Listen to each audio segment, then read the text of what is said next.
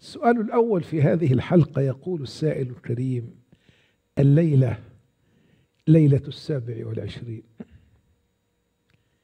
هل هي ليلة القدر حقا؟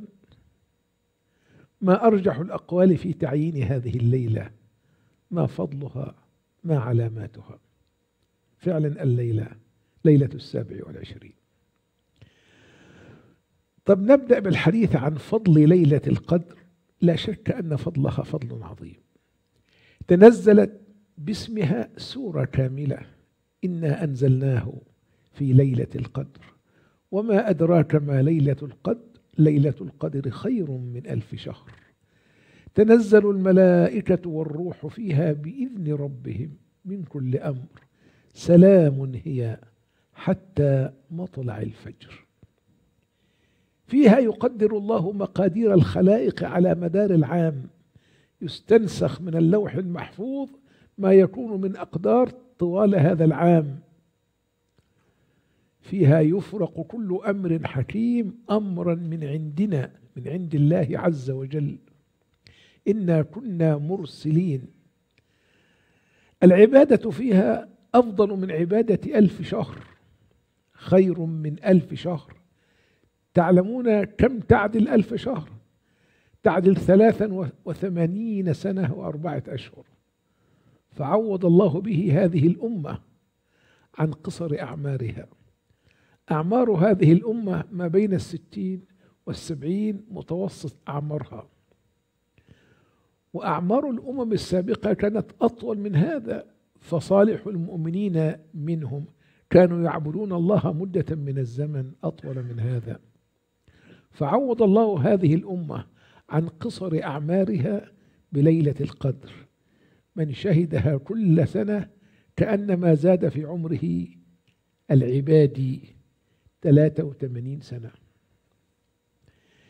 يشرع إحياؤها بالقيام والاعتكاف والدعاء وسائر الأعمال الصالحة.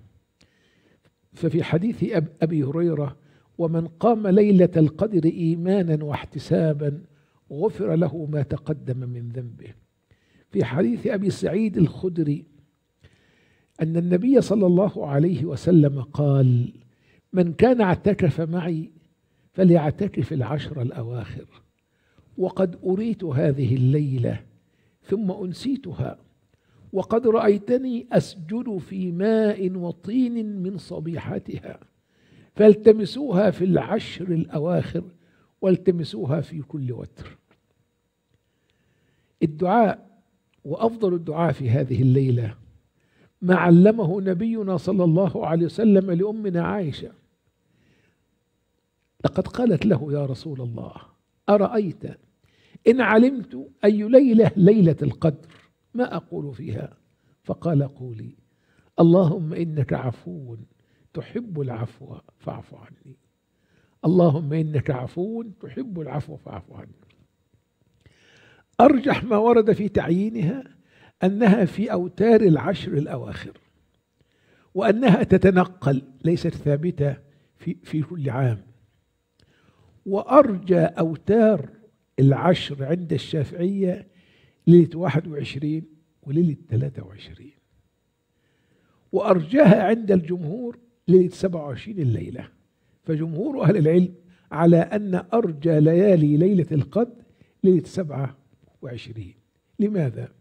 لحديث أبي بن كعب رضي الله عنه في ليلة القدر. قال سألت أبي ابن كعب أحد الصحابة يقول سألت أبي بن كعب قلت له إن أخاك ابن مسعود يقول من يقم الحول يصب ليلة القدر. اللي يقيم السنة كلها 360 يوم يصيب ليلة القدر. فقال رحمه الله لقد أراد ألا يتكل الناس عايز بس يرفع همة الناس إلى عبادة إلى عبادة الله عز وجل. أما إنه قد علم أنها في رمضان وأنها في العشر الأواخر وأنها في ليلة سبع وعشرين. كلام أبي ابن كعب رضي الله عنه. رحمه الله أراد أن يتكل ألا يتكل الناس. انظروا أيضا إلى أدب الصحابة في تعاملهم بعضهم مع بعض حتى عندما يختلفون في قضية من القضايا. لقد أخبره أن ابن مسعود يخالفه في مذهبه في ليلة القدر. إن أخاك ابن مسعود يقول من يقم الحول يصب ليلة القدر. قال رحمه الله أراد ألا يتخل الناس. حسن تعليل وحسن تخريج أراد ألا يتكل الناس.